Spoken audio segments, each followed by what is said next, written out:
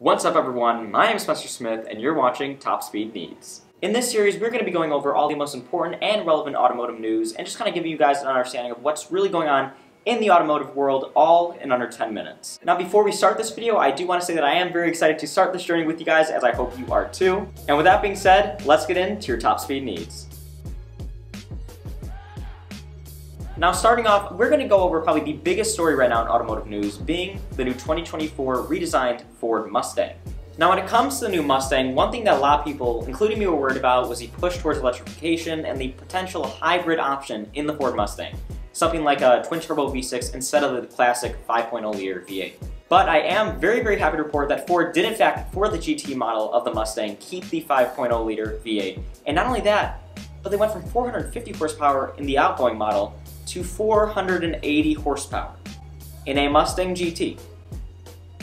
This thing is crazy. Along with that, the Mustang GT will still be offered in not only a manual transmission, but also a 10-speed automatic. So if you like shifting gears yourself, if you do in fact want to save the manuals, there's an option for you. But the thing is, that's only if you want the GT version. That or the model we'll get to in a second. Unfortunately, with the new Ford Mustang EcoBoost, which still has a 2.3 liter turbocharged four cylinder, making 310 horsepower, due to low demand, the manual transmission is no longer an option.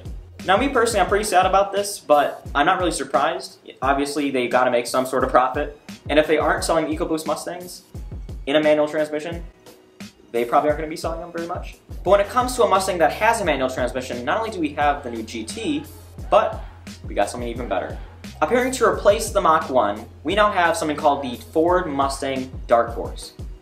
This thing, as I said previously, is insane. To start off, the new Ford Mustang Dark Horse makes 500 horsepower reported by Ford and comes standard with a manual transmission. Although, if you want the faster option, you would go with the 10-speed automatic. Along with that, the Ford Mustang Dark Horse not only looks a lot cooler than the GT, which by the way, for the first time ever, as you can see here, actually looks different from the front than the EcoBoost has a little bit wider of a grille, a little bit more sporty of a look. But the Dark Horse seriously does look all around just like a cooler version, essentially, of the GT, of the Mach 1. Along with that, it comes with Brembo brakes, of course, a stronger, improved camshaft, rear axle lube, auxiliary coolers for the engine oil, and a lighter, better radiator, all of which make it so you can push this Ford Mustang Dark Horse into the higher rev range without having to miss a beat. If you thought the Ford Mustang couldn't get any cooler, you now also have the ability to rev your engine from your key fob. No, I'm not joking, although honestly I wish you could do even more than that.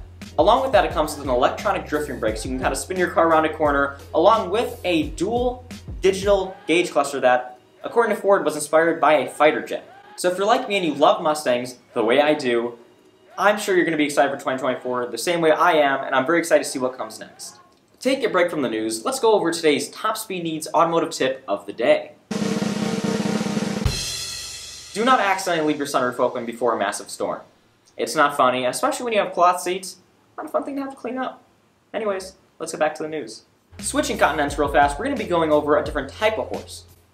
A slightly faster horse. One that's being described as Ferrari's new, take this, four-door sports car. Their naming, not mine. That being the new Ferrari Purosangue. Yes, that's how you say it. Don't correct me in the comments. Finally, Ferrari has come up with their own competitor for the Lamborghini Urus and to enter the crossover market with their new four-door sports car that is honestly really insane. Although there's something confusing about it, which I'll get to in a second. The new Ferrari Purosangue comes with 715 horsepower and 528 pound-feet of torque coming out of a naturally aspirated 6.5 liter V12. That, of course, is inside a four-door sports car. To clarify, not an SUV, although trying to compete with this. Again, their words, not mine.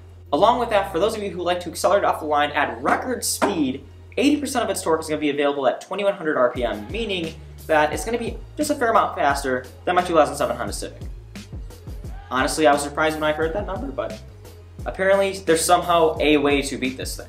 Now one interesting thing about this compared to the Urus, which I was honestly pretty surprised about, is the fact that although the Lamborghini Urus has only about 641 horsepower, which again is a big number, and 626 pound-feet of torque, and also weighs like 3 to 400 pounds more than the Purosangue, it somehow has a faster 0 to 60 time of about 3 seconds versus the Purosangue's 3.3 seconds. How that works, especially considering the Purosangue appears to be a little bit more aerodynamic, as you can see, I'm not really sure, But you know what? I'm not going to question it. I'm just going to hope that the number is correct, and I'm going to be very, very excited to see this thing actually on the road. Now, one thing I find interesting is that the new Lamborghini Urus costs only about $225,000 versus the $400,000 that the Purosangue costs. But if you want something that's going to be faster overall and can probably reach a much higher top speed, at least to some degree, you're going to want to go with the Purosangue. But if you honestly you want to spend a little bit less, still get a great car, and be a little bit faster off the line, and beat a car that is $200,000 more almost, the Urus is going to be your best friend. Trust me, it will not let you down.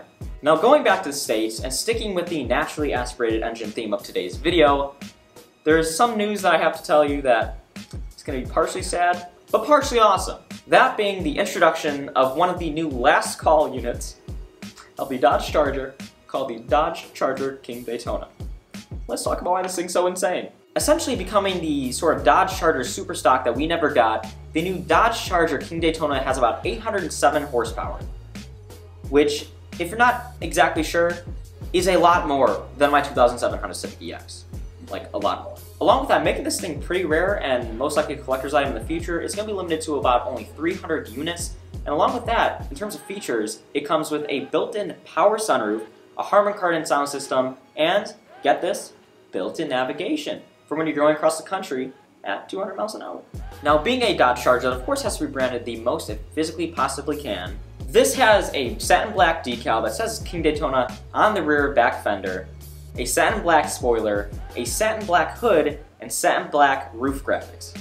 Because of course, it wouldn't be a Dodge Charger if it didn't have all of those things. And being the American powerhouse is, of course it has to have massive chrome wheels, because of course, why wouldn't it? Making this thing the pinnacle of four-door American muscle cars, for the time being at least. Now although I'm very sad about the fact that they're discontinuing the Charger and the Challenger, replacing it with this thing, I am very happy that they are releasing the last call models, kind of putting it out of its misery that was never misery to begin with in kind of a more distinguished fashion. I also think it's a pretty nice conclusion to the whole Dodge era of muscle cars that we've seen over the last 50 to 70 years.